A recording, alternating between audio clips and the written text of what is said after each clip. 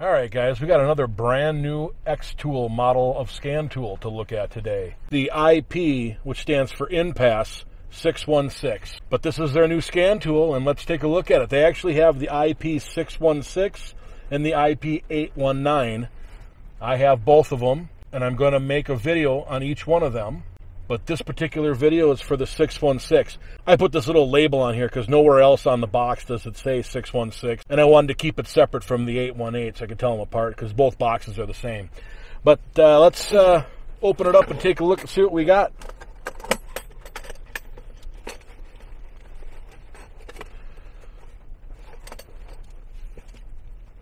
So in the kit, it comes with a packaging list, and there is a owner's manual in there or a user manual. And then there's a piece of foam. And then you've got the data cable, a charging brick with a couple different adapters depending on which country you're in, and the charging cord itself, which is also a USB A to USB A cable, some uh, some silica gel, and that's about it. I did notice on on these new X tools, the OBD2 end the OBD2 cable end was built right onto the cable instead of having to put on that little adapter like the past X tools had. So that's kind of different. Uh, and then on the other side, of course, got the scan tool itself. Let's check that out. So there's the scan tool itself. It's a little bit uh, different form factor than the older ones. Uh, this is a 7 inch screen. And the 819 is also a 7 inch screen, but I'll get to that in the other video. On the top, you've got the power button, there's the connection for your data cable, and the USB A port. Now, this is the charging port. This particular port here could also probably be a charging port, but they don't specify because uh, it does not come with a cable to plug into this. You do the charging through this. And then on the back, and on the back here, I'll cover up my serial number. There's no kickstand and there's no camera. So we'll get this turned on here.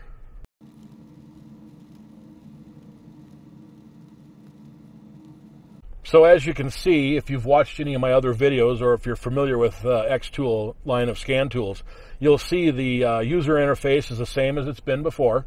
Very easy and simple to use. And uh, I'm going to get the uh, data cable hooked up and uh, we'll start taking a look at this. I'll be right back with you. All right, before I go any farther, I've got this card here with all the specs. I'm going to put this up on the screen so you can follow along. It's got the information for the IP616 on the left and the IP819 on the right. In this video, we're doing the IP616, so I'll read that information now. It has free lifetime updates. It's an affordable price. It supports CAN FD protocol full system diagnostics, key programming for most vehicles, ECU configuration and customization, and notice it says not on all vehicles with that asterisk. 31 common special functions, wide vehicle coverage, 2.5 gigahertz or 5 gigahertz dual band Wi Fi, which I believe some of their older tools did not have. Operating system is 5.1 Android. It says processor 2 gig. That's not that's not the processor. It has 2 gigs of RAM and 32 gigs of storage. The display is uh, a 7 inch touchscreen. Uh, the audio input is, has a microphone, dual speakers. It has a four band, 3.5 millimeter stereo standard headset jack. It has a 5,000 milliamp hour, 3.65 volt lithium battery, and that's it for the IP616. Okay, we're all hooked up here. Um, if you're familiar with my channel or if you've watched any or if you've watched any X-Tool scan tool videos on the internet, you'll see, like I said before, this is the same as all the other scan tools, the layout and whatnot. So I'm not expecting this to be too terribly much different than than the other scan tools that are on the market, but it is their new form factor, which is pretty nice. Um, so let's just give it a try. Let's go into auto scan. We're in the same 2006 GMC pickup that I always do my scan tool videos in. And that way, if uh, you want to compare one scan tool to another, you could go back to my old videos and compare what you see on screen from a different scan tool to these newer videos and see if there's anything different. So anyway, let's get into it here. Sierra four-wheel drive. four button selectable, dual zone manual, up level radio, under 8600, rear drum brakes. That's the truck. And we can either go to auto diagnose, which is a full system scan, and I'll let it run through and do that quick. I'll speed this up just briefly so you don't have to sit and wait.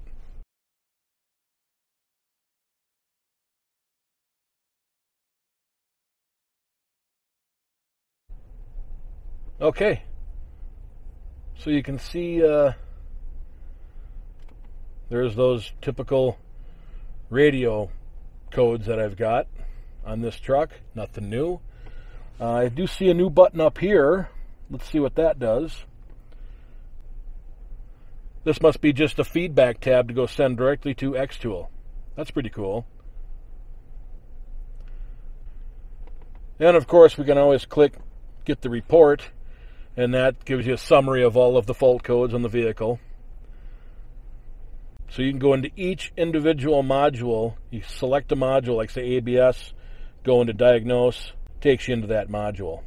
All right, so pretty similar to the previous X tools, not much has changed there. And if we go in through diagnosis, we'll just click auto VIN, auto scan,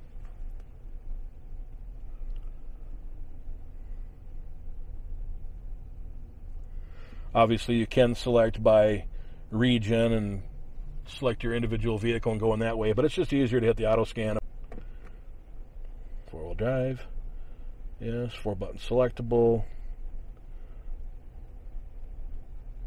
Pull for radio, 8600, rear drum brakes. That's it.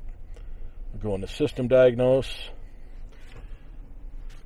And uh, this is where I'm going to be able to see if this is any different than the D7 or the D8.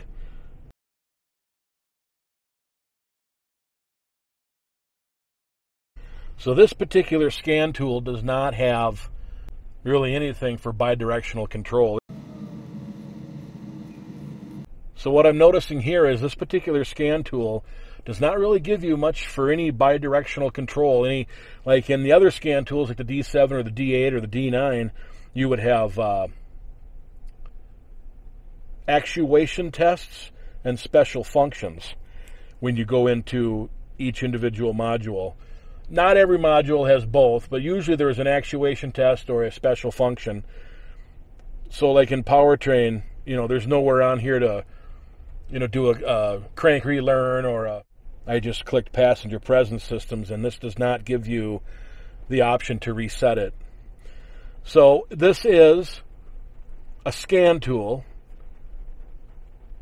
that will give you full live data on all modules in the vehicle, and it will give you all trouble codes for all modules in the vehicle, but with no bidirectional control. So this would be what I would consider, you know, an entry level scan tool. It gives you all the information you could possibly need on a vehicle, which is, you know, probably 95% of your of your repairs is pretty much all you need. But if you wanted to go the next step up, you got to go to the next level of scan tool. You know, it still has these uh, special functions over here, which again, like I've said on my other videos, just because it lists it on here doesn't mean it can force your vehicle to do it. Your vehicle has to be programmed for any of these given options for it to work. The scan tool has to have it, and the vehicle has to have it programmed.